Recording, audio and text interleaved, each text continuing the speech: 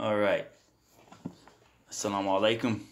If you recall, uh, uh, we left off with Ghazali uh, sort of detailing a second approach, or what it seems to be a second approach, whereby he asserts the possibility of reported miracles. Essentially, uh, we have to say he supports the proposition that God can do anything, right? Um, you know, in a way which is compatible with the idea that nature is an orderly system, uh, specifically along the lines uh, of the way that the philosopher conceived that in terms of essences, right? Uh, and so he says that we, well, he says, remember, the we can concede that fire is created in such a way that if it were to come into contact with two pieces of cotton which are exactly similar, then it would similarly bo- burn both of them.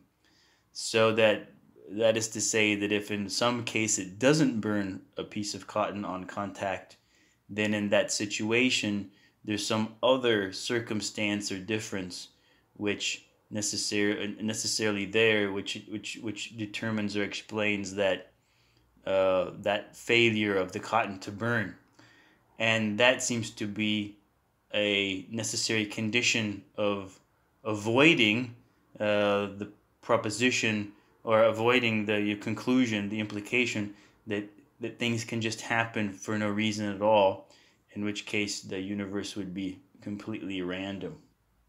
So, I was myself thinking about this, and uh, I have some suggestions to make as far as what you know, how we might understand what's going on behind the, the scenes here. Um, in terms of the proposition that God can do anything and what Ghazali might need to or might see himself that he needs to um, acknowledge are necessary conditions for that to be true uh, conceptual conditions, right? So Ghazali, of course, has to avoid the implication that there is something else in existence which God depends on, right? Uh, but the question whether or not there's not something conceptually or logically uh, a, ne- a necessary condition for God to be able to do anything is another question. And distinguishing between what are truly logical conditions of the possibility of something and what are actually uh, just conditions that are not actually necessary conditions but only appear to be so through the perspective of some contingent theory of nature right? Which may uh, which which was which, which will be inevitably limited or may be actually wrong. Uh, that is actually what's at the bottom i think one of the main uh, problems here or main main issues. So it seems like if God can do anything, then it has to follow that God can do something, right? Uh, we can all accept that, I think, and Ghazali would also have to accept that. It can't be the case that God can do anything unless God can do something. And I think that the question of what are the conditions of God doing something is really the, the, the underlying powerful motive here for Ghazali to uh, lay out this so-called second approach, and that is, as we sort of saw before, um, but maybe can articulate in a simpler form here, that if God can do something, then it has to be that there is something that God does, right?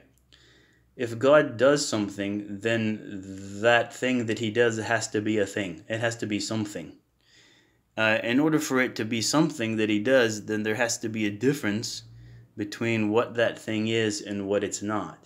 A clear difference, right? And I think the philosopher, uh, you know, uh, the, the real philosopher position here, or the real concern they have, and definitely the concern Ibn Rushd has in his response, is that unless the thing has a kind of reality, unless it has a definition, or an essence or however you want to call it, then it actually is not a thing, right? Because there's no clear distinction between that thing and something else, right? in particular, that that definition or essence has to be cashed out in terms of how that thing behaves actually in the, the universe and the cosmos under various circumstances. So, as we said before, for example, if it's not the case that fire has a kind of a reality or definition which can be described in terms of what it actually does and how it interacts with things in the universe, like the fact that it burns cotton under normal circumstances and so forth, then there's nothing there to distinguish fire from ice or water or anything else that we might, you know, say, right? Uh, and so, therefore, there is no meaning to saying God created fire because there's just, in fact, no meaning to fire, to what fire is, right? Um, so, it looks like, in order for the thing to have a reality, right, the universe as a whole, in a sense, has to be orderly in such a way that the that the behavior of that thing can be described in such a way which is coherent and consistent, right? What it is to be fire has to be described in such a way which is both true, uh, spanning the whole, you know, uh, well, let's say, which is consistent across the whole history of the cosmos, right? So that if fire touches cotton in some instance and the cotton doesn't burn, then there is some difference in the circumstance there, which if we include it into the description of the whole cosmos, will uh, allow us to describe the behavior of fire in an internally consistent manner, right? So that we don't have something that, well, fire is what burns cotton and does not burn cotton. No, it would be something like fire ha- fire is what burns cotton unless it's covered with talc or some other fireproofing material and so forth, right? And so we would have now an internally consistent description of what fire does that would constitute what fire is so that there would be actually truth to the proposition that God created fire because fire would be a thing which God creates, right?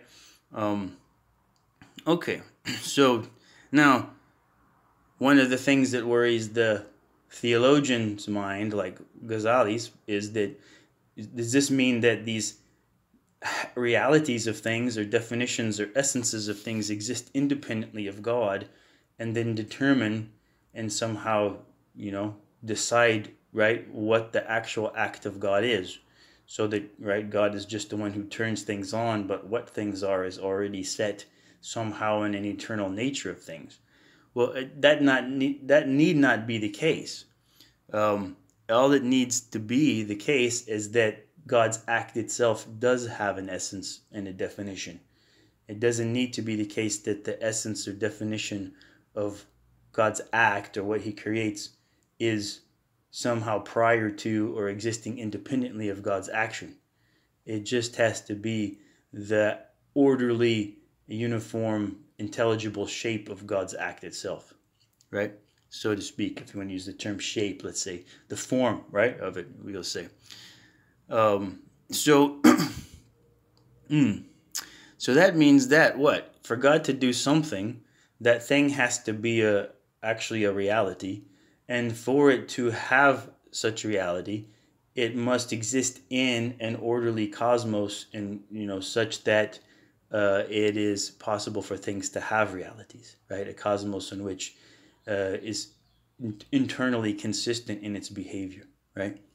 Uh, ultimately, if viewed from the perspective of somebody who, uh, a hypothetical person, in this case, definitely would say God knows everything. So, right, in God's knowledge, all the events in the universe work out according to a consistent pattern and order, even if and even though it's the case that for any human being, nobody has uh, the comprehensive knowledge of the cosmos such that they can actually grasp the orderliness of it, right? So there always there will always seem to be some things which sort of happen out of the ordinary and violate the order of nature simply because we don't understand the order of nature completely. Yeah. Um, and yet it would still be the case, according to our argument here, that uh, conceptually speaking, God's doing something, God's creating something entails a cosmos which is orderly in such a way that that something that he does actually is a thing, right?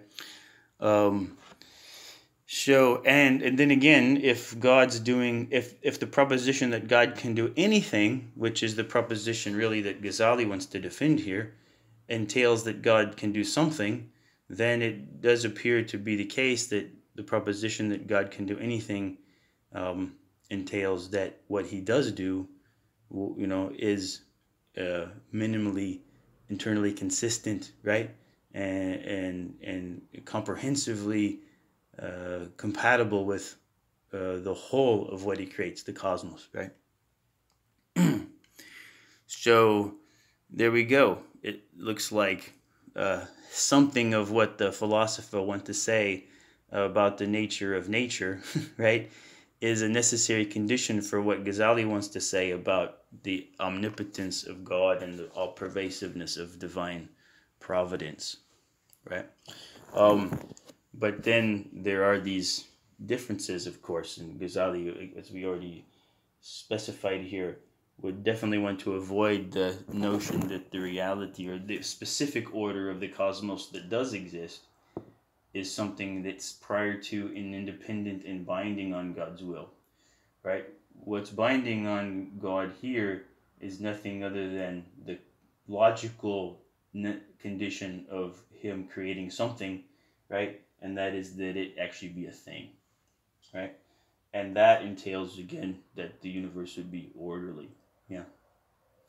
I mean, we do have that other consideration carrying over from earlier in the book, which I imagine Ghazali is quite sympathetic with, that God being perfect would not create a less than perfect universe and uh, preponderance of evidence from other uh, work of Ghazali uh, seems to suggest that he does believe that this is the most perfect possible universe, right?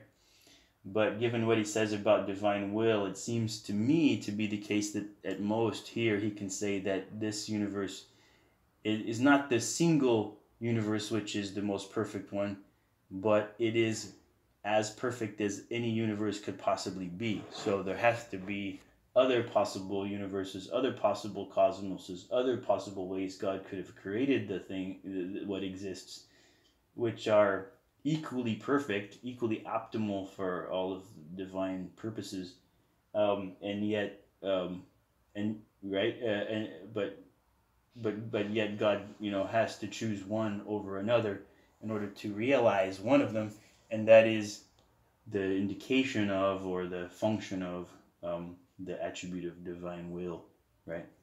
As Ghazali defined it in the first discussion. anyway, so we get back to the, his conversation, ongoing conversation with the philosopher. Mm-hmm. And he had given two examples of how miracles can happen within the sort of hylomorphism of the philosopher. And uh, one was uh, that, uh, well, I can't remember. So the, the last one that we discussed was with regard to the the changing of the stick into a snake, right?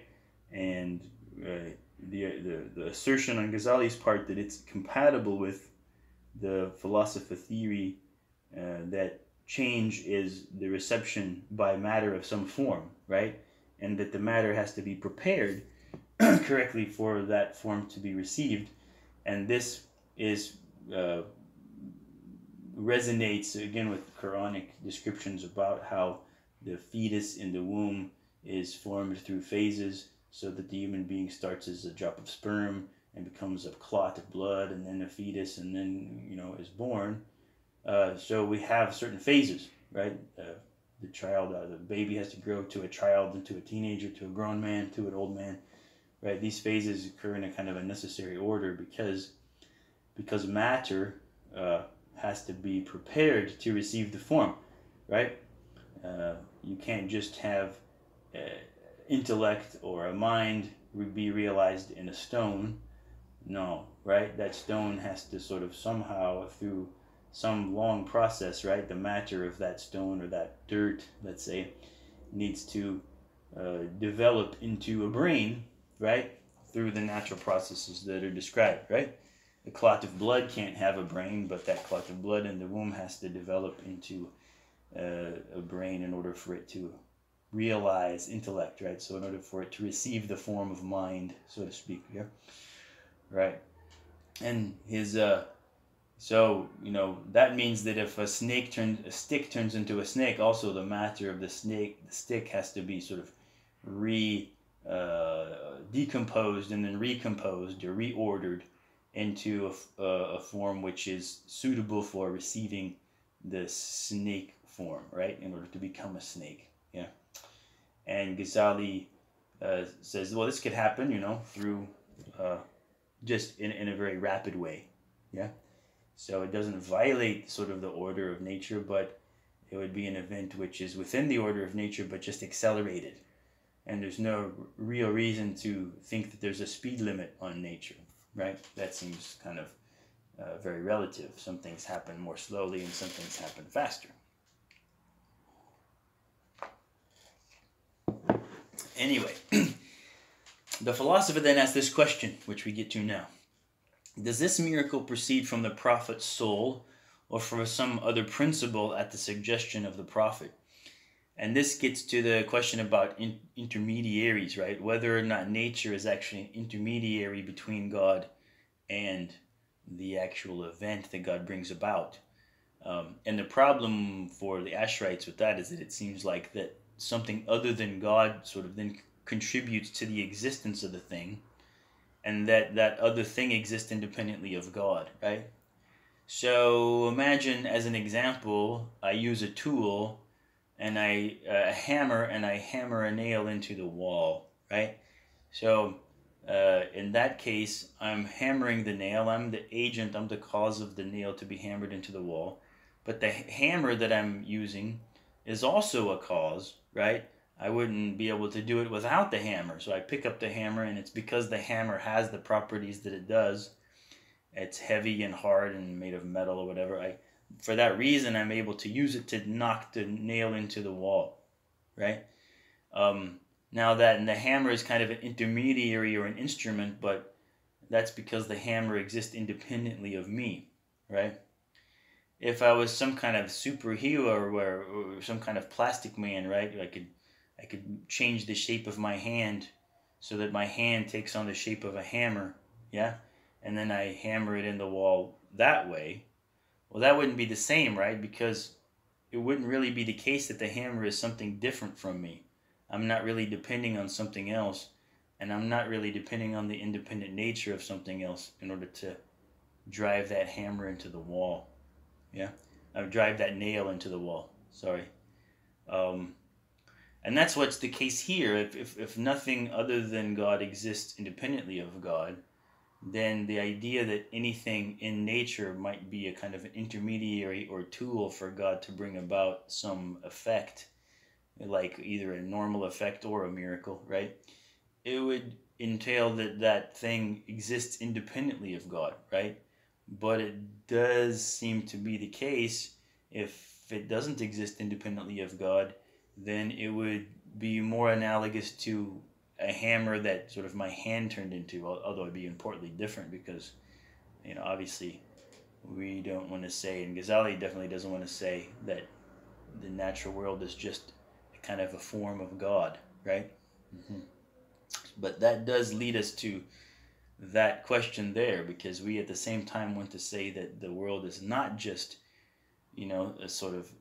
Uh, a shape that God takes, something like that, right?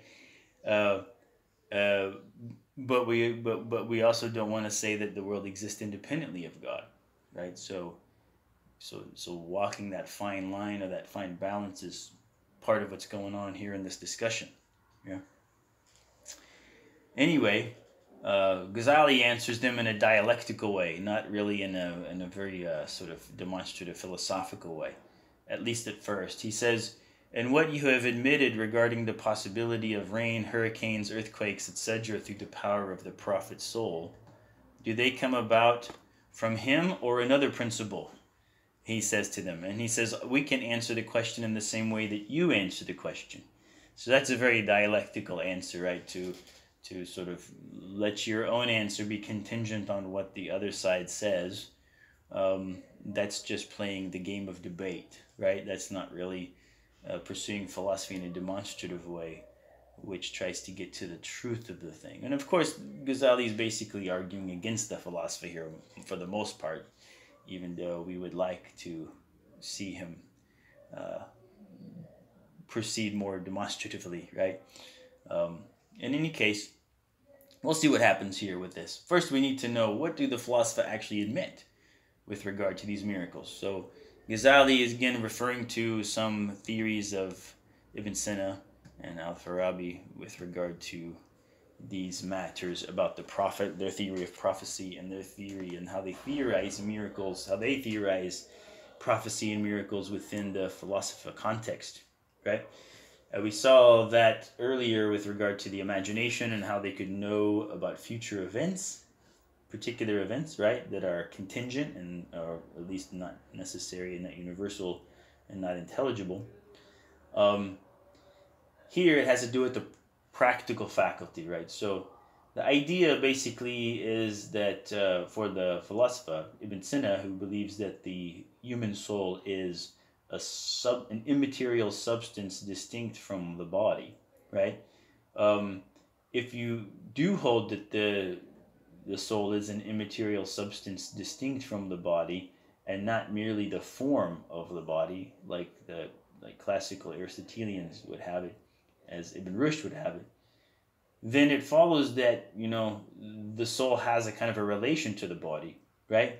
As two separate things and it can make the body do things. So your prac- the practical faculty of the soul that part of your soul responsible for or capable of making decisions and and taking action right? A will right basically in the human being um, that can move the parts of the body right to pursue the aims that the mind has for the body right? So the soul controls the body in that case like the captain steers the ship but the captain is different from the ship, right? So the captain has a kind of power over the ship. Well, the soul has that kind of power over the body, the ability to move the body, right? Um, and according to Ibn Sina, the power that the soul has over the body varies from person to person. And that seems to be, you know, at least uh, uh, initially plausible, right? Some people have more willpower than others, yeah? So, and we talk about that fact. You know, maybe people are training some for some sports, and we would say somebody has more willpower than the other.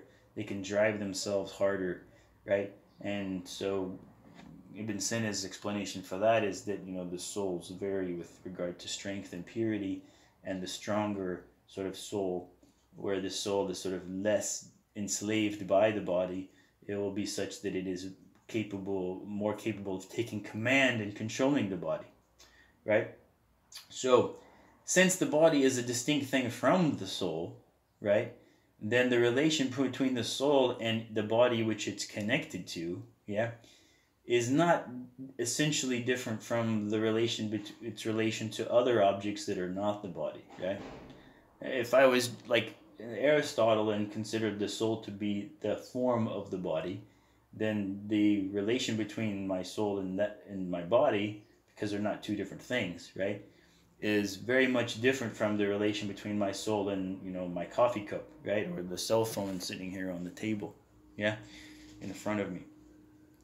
But if this case, if my soul is a distinct substance from my body, then the relationship between my soul and my body, right, is the relationship between two distinct things and so it's not fundamentally different from the relation between my soul and the cell phone here in front of my desk, right? And so it follows that it's possible that, that if a soul is really powerful, it could have control over objects other than the body that it's connected to, goes the idea.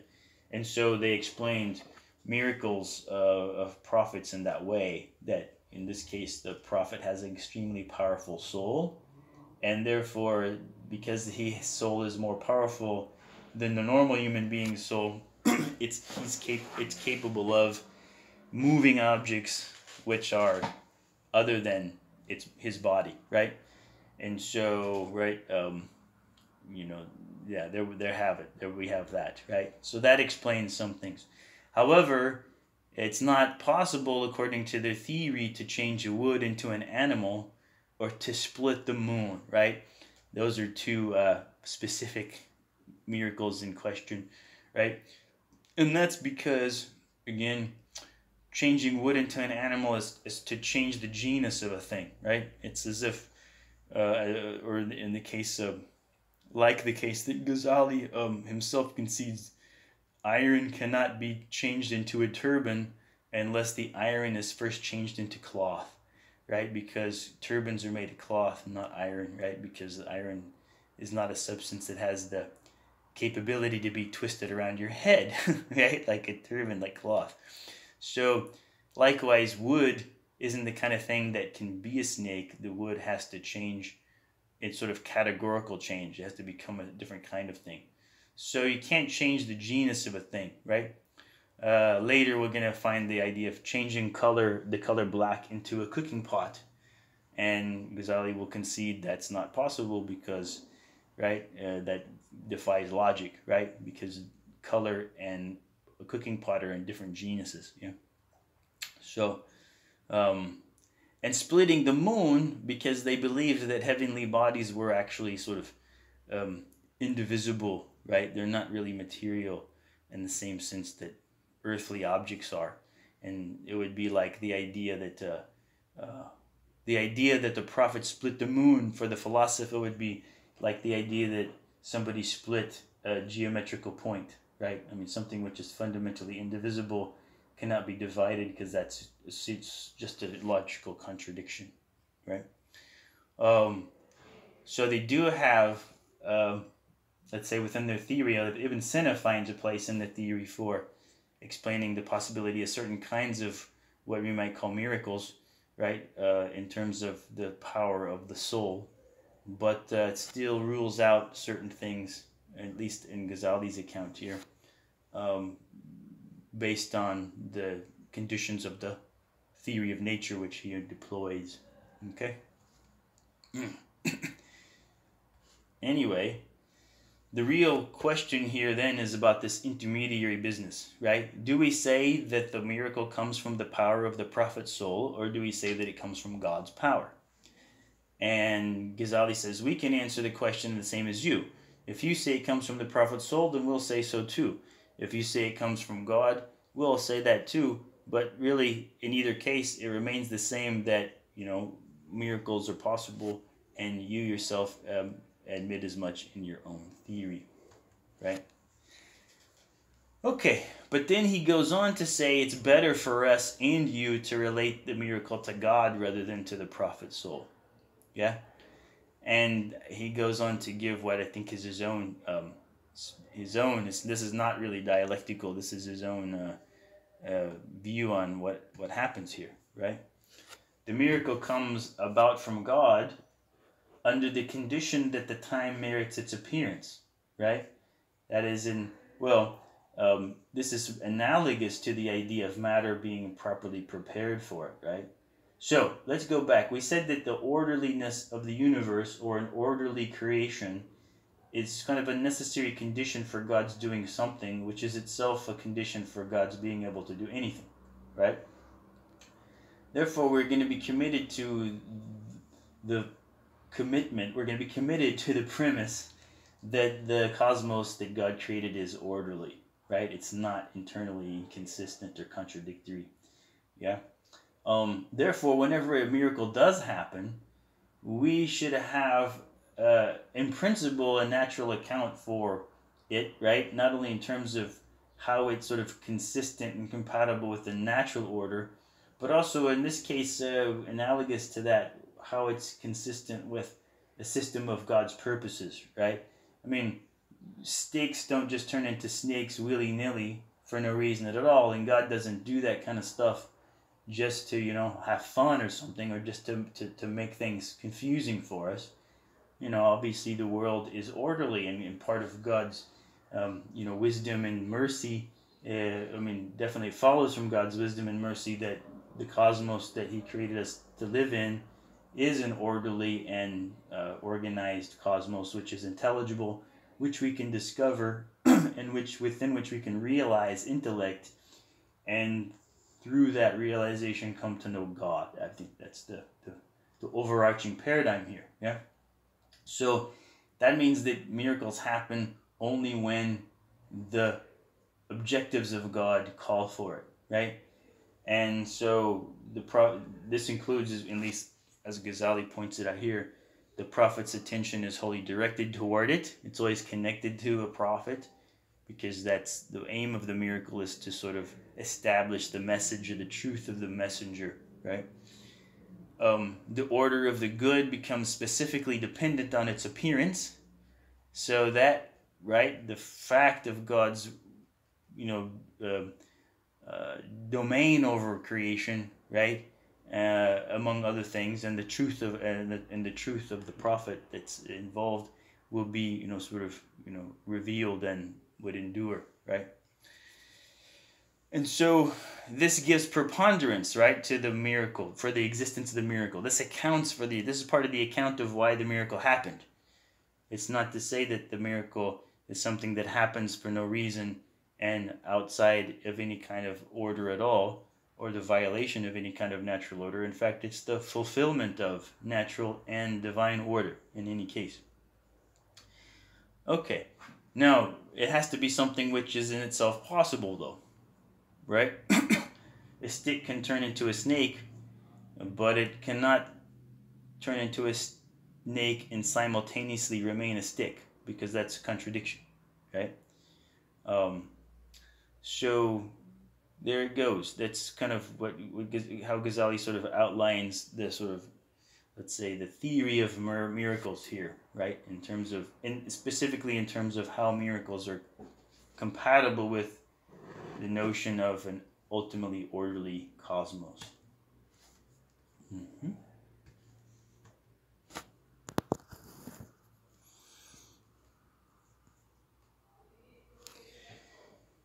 So, as he says, all of this is consistent with the drift of what they say and the necessary consequence for them as long as they bring up the topic of the prophet's special endowment with a characteristic contrary to what is customary with people. For the possible amounts of that are not encompassed by the mind. Why then, with this, must one disbelieve in that whose transmission has been corroborated by innumerable reports, and belief in which is enjoined by the religious law? Right? So, if you have a theory of nature uh, within which these things are possible, right, uh, then there's no reason for anyone to deny that they happened uh, in the face of this information, right, according to which they did happen, because there's no basis on which to deny its possibility, right? Essentially, it's saying like this as long as it's possible for uh, sticks to become snakes, right?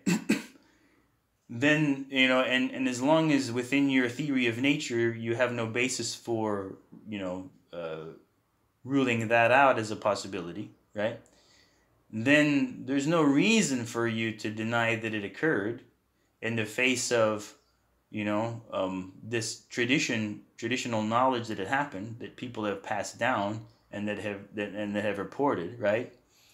Uh, and, and and and to do so, right, to deny it, you know, in without any kind of proof, it simply seems to be a kind of act of arrogance then right? It's just you think that all these people are so stupid that you know even if it could happen right uh, you wouldn't uh, you wouldn't believe those idiots. Yeah? Yeah so if a kind of a scientist or philosopher came and said oh uh, you know i have this sort of scientific research report where you know uh, you know we it's been reported that they've you know they saw a stick turn into a snake and we explained it through this kind of accelerated hylomorphism where for some reason it appears that uh, the matter of the stick was put through these phases of change in an accelerated way and then we ended up with a snake and what appeared to be an instantaneous uh, change right? Uh, they would believe it and think it's okay because it's explained according to a theory which they accept right? but then they would deny it simply because uh, you know if, if it was reported in a hadith or by religious stories right? By religious uh, tradition. Because the messenger is not one that they respect as much. This this i think is, is what's going on here in ghazali why he thinks that the uh, followers of the philosopher at least some of the, the culture of philosopher is is basically based on arrogance and when he thinks when it's revealed that underneath they don't really have any demonstrative proof uh, with regard to the things that they deny from uh, religious tradition, then he thinks that he's revealed that the real motive and the only basis of it is this kind of arrogance. Yeah. Mm-hmm.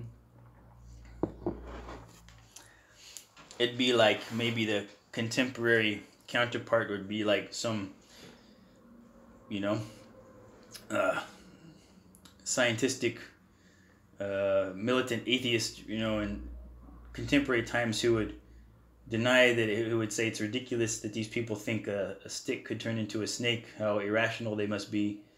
But then if it were proposed to him that, you know, um, they might uh, uh, in the future be able to develop a technology which would be able to transform matter into different forms, like in Star Trek, where you can just, you know, order the computer to make you a pizza and it sort of assembles the molecules required, you know, in some kind of strange matter, you know, matter synthesizer or something, right? Then they would think that that is possible, right? right? So why should it be impossible uh, and at the same time possible, right? Well, it's not. It's because you think it's impossible for it to be true and reported by certain kinds of people, but you think it is possible when it's sort of anticipated by other types of people. And in the end, it just has to do with what kind of people you're talking about and, and how much respect you have for those people, right? So your justification for disrespecting a certain group or and, and having a higher respect for another is actually uh, circular there, right? The justification depends on your disrespect for the one and sort of high respect for the other. And it turns out to be, like Ghazali said in the beginning of the introduction, a matter of taqlid and feeling of being wanting to be associated with a certain set of people you think are superior, right? Anyway, so how do we get miracles in an orderly nature, right? To sum up this, yeah. Ghazali actually says, right, there, there emanates to each receptacle only that to which its reception is specified by being in itself disposed to receive that thing. So, what he means there, an example is that humans come from human sperm, horses from horse sperm, wheat and barley and apples from their respective seeds, right? You don't plant an apple seed and out comes a human, right? And a woman does not give birth to an apple or a horse or something like that right? Uh, that's because or nature is orderly, or as the philosopher put it, matter can only receive a form for which it is appropriately prepared to receive, right? That is the ability or appropriate preparation is here called the disposition, right? So that when Ghazali, that's what Ghazali means here when he says their dispositions to receive forms differ due to things unknown to us, it being beyond human power to know them, right? So, or we can put it in that way. If it is possible for a woman to give birth to an apple, right? Uh, let's say that our, you know, futurist technologist says, well, you know, actually, no, we, we one day will have the technological capability to make a woman give birth to an apple, right? With genetic engineering or something like that, right? Uh, and we only can't do that now simply because we don't know enough about how nature works in order to actually make that happen, right? If we know enough about how nature works, then we can make it happen. That's just what Ghazali's saying. Their dispositions to receive forms differ due to things unknown to us, it being beyond human power to know them. So it's possible for a woman to give birth to an apple if certain kinds of you know conditions alter the disposition of that woman to receive the form of an apple in her womb yeah but we just don't know right what kinds of things are out there that can make that happen yeah nature is really not, we don't have comprehensive knowledge of nature. So he says, From this it has become clear to us that the principles of dispositions include strange and wondrous things. If then the principles of dispositions are beyond enumeration, the depth of their nature beyond our ken, there being no way for us to ascertain them, then how can we know that it is impossible for a disposition to occur in some bodies that allow their transformation and phase of development in the shortest time, so that they become prepared for receiving a form they were never prepared to receive previously, and that this should not come about as a miracle. The denial of this is only due to our lack of capacity to understand, lack of familiarity with exalted beings, and our unawareness of the secrets of God, praise be He, in creation and nature. All right. So, I think we got a good handle on what Ghazali is trying to say here with regard to natural order and the possibilities of miracles in an orderly nature. So the philosopher ask him a very good question then, right? They say, okay, we agree with you. We agree with you that everything possible is in God's power, and that the impossible is not. Because remember, Ghazali had said before, right? The impossible is not in God's power, and the impossible is basically denying and affirming the same thing, right?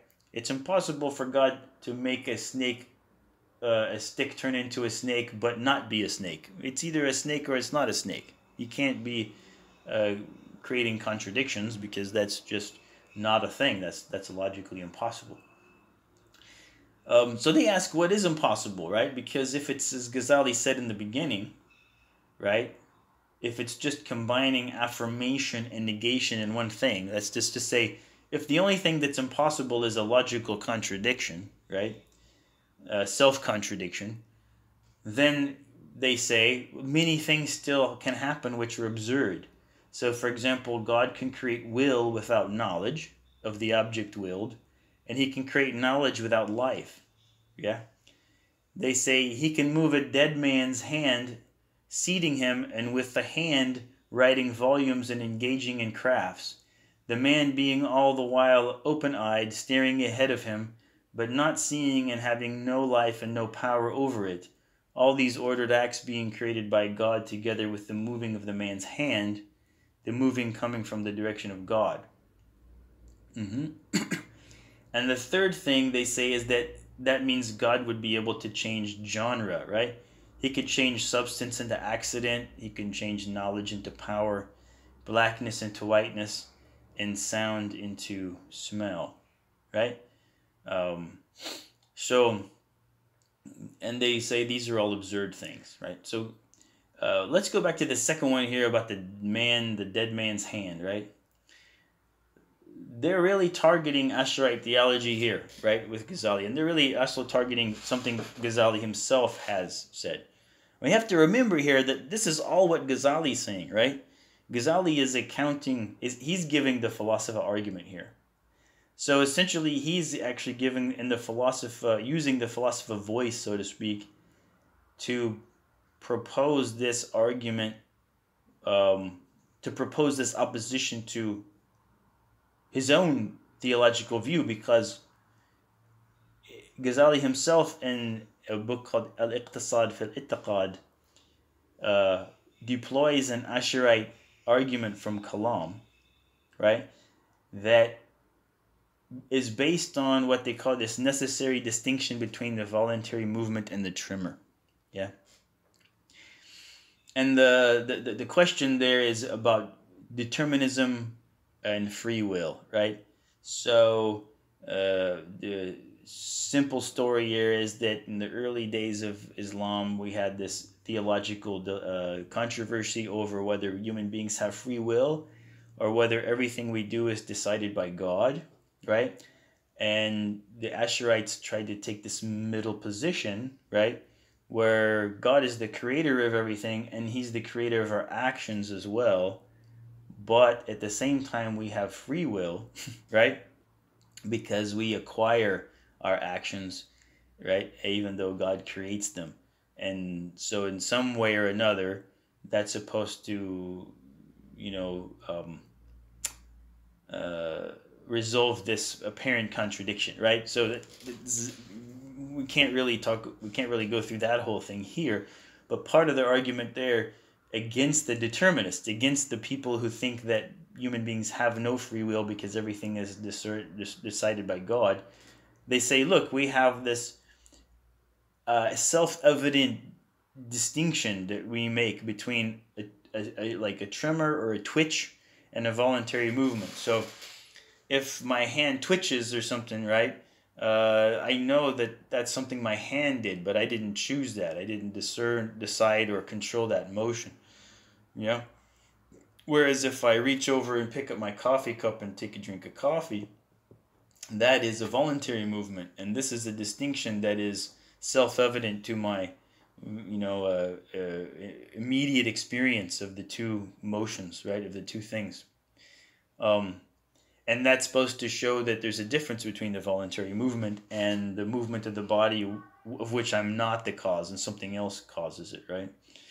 Anyway, uh, also in the uh, Asharite uh, Kalam, the premise that a well-designed, ordered act proves uh, that the thing is has a knowledgeable, powerful agent is part of their kind of design argument for God's existence, right? Well, really, it's their argument that God has knowledge and power. So we've already established there that the in their argumentation that the universe uh, since it had come to be, uh, has a cause, and God's that cause of its coming to be.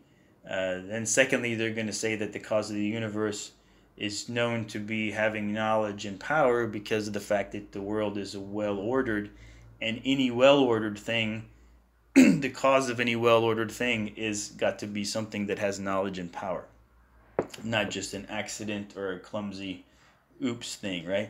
Because the world is well ordered. So the philosopher argue here, but look, if you say that, you know, only self contradiction is impossible, then it follows that God can make a dead man write a book, right? And do these orderly things.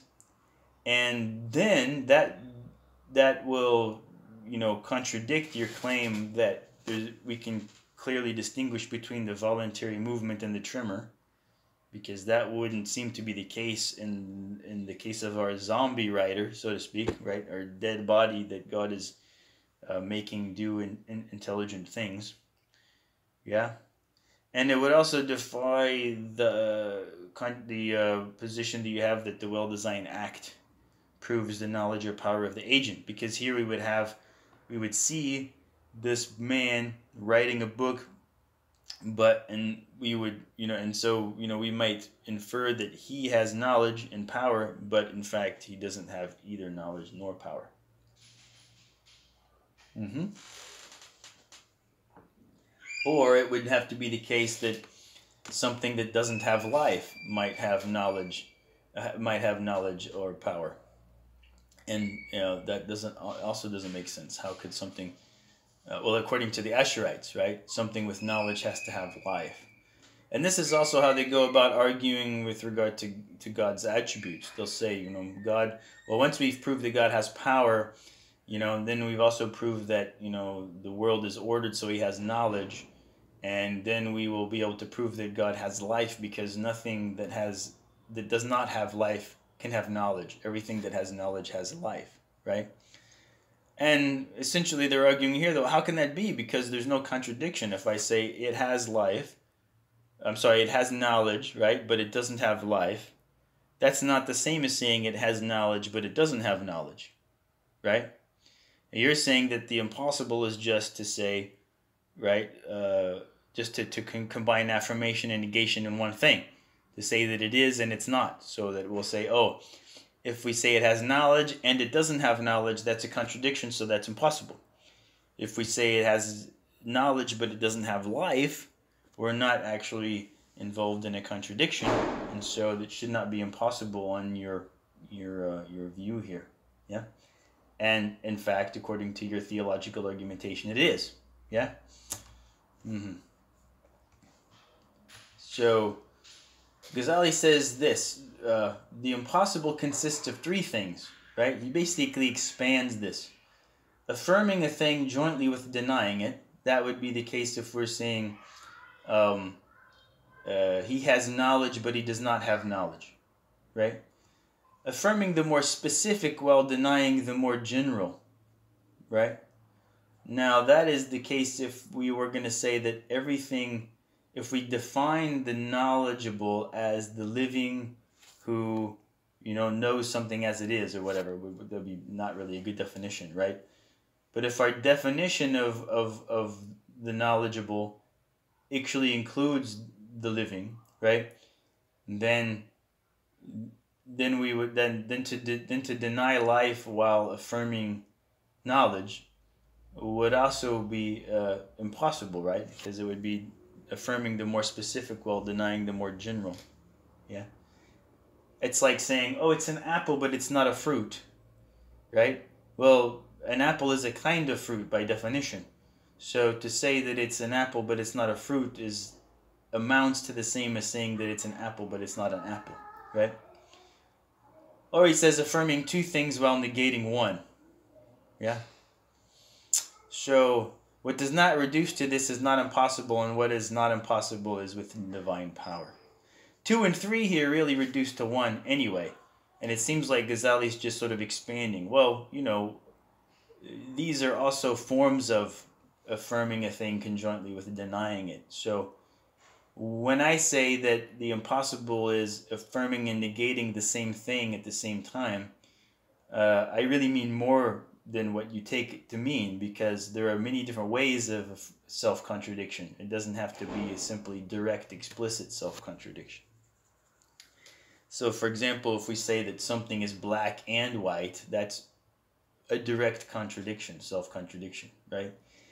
If we say that he, you know, an individual is in two different places at one time, right? Well, that's a sort of direct contradiction because, as he says, we understand by its being in one place that it is not in another place.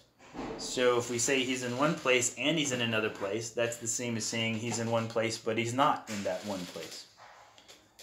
As is the case here, right? If we say that it's black, we actually also are saying that it's not white.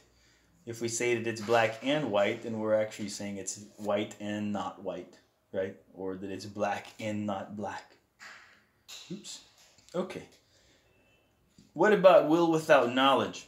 He says, well, we understand the very concept of will, right? Is the seeking after something known to the willer, right? So part of the very concept of willing something is that the thing willed is known to the willer.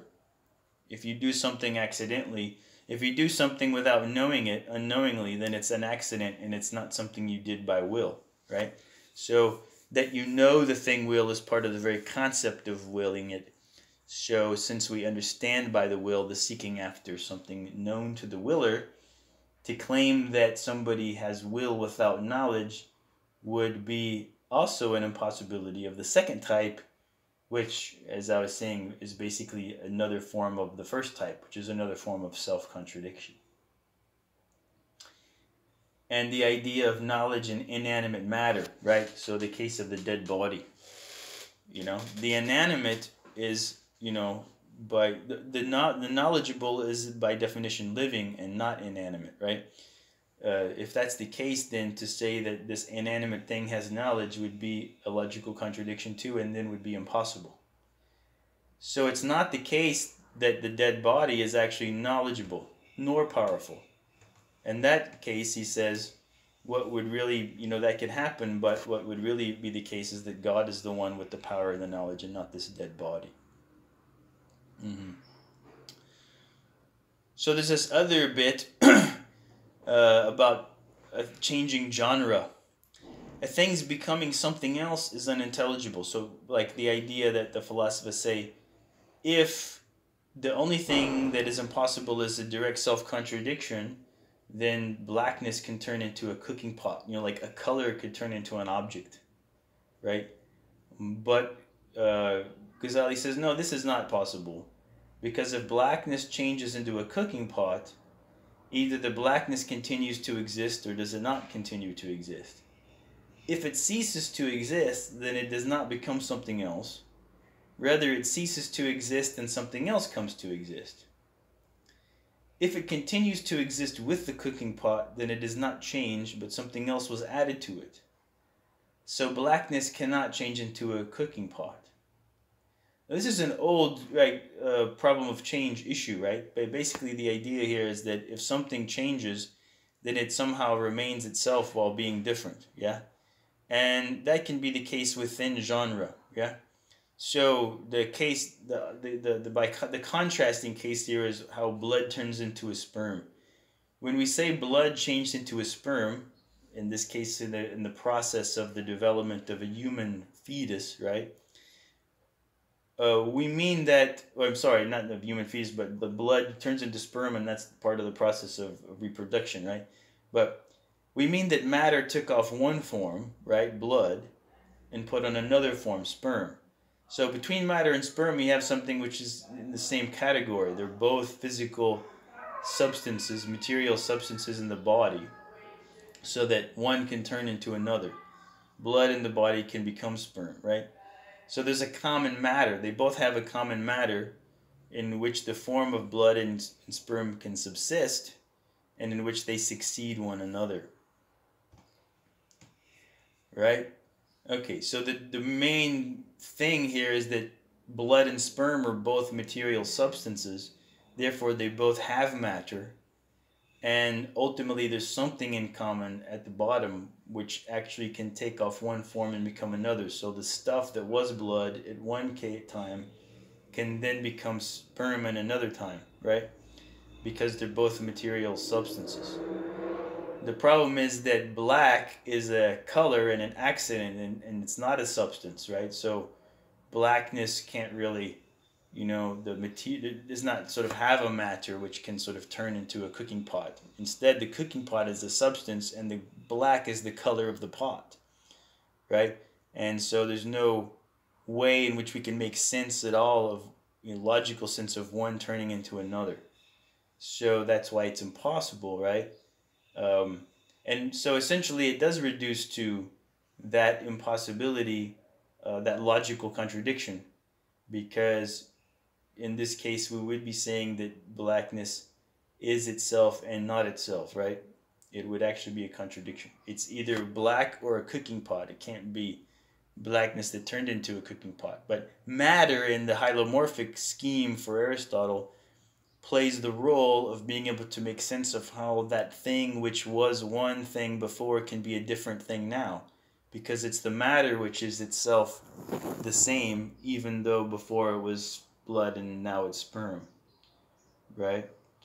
And so Ghazali is really committing himself here to a, a, a concept of change which is really different from the Asherite concept of change because for the Asherites, really, for the atomists among the Asherites, things didn't really change. There's no such thing as matter. They're just atoms.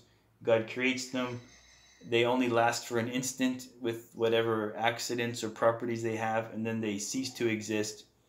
There's not any sort of continually existing matter underneath which takes off one form or another, right? Nothing exists for even an instant.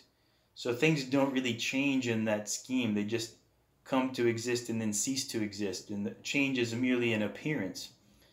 And Ghazali really is saying here, right, that when we say that one thing changed into something else, we mean that the matter took off one form and put on another. That's the only way we can actually coherently conceive of change occurring.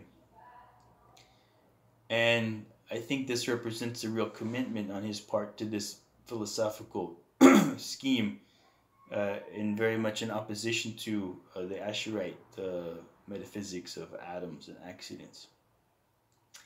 But in any case, he wants to say that the notion that something changed, at least it may be the case that nothing in the actual world does change and everything is just atoms flashing in and out of existence.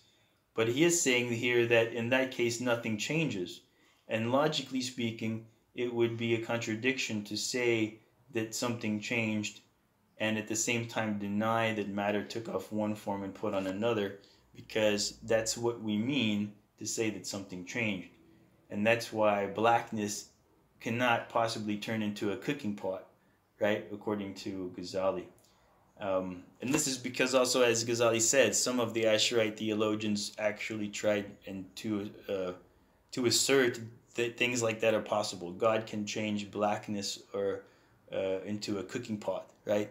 And Ghazali essentially saying, no, that's wrong because that's a logical contradiction, right?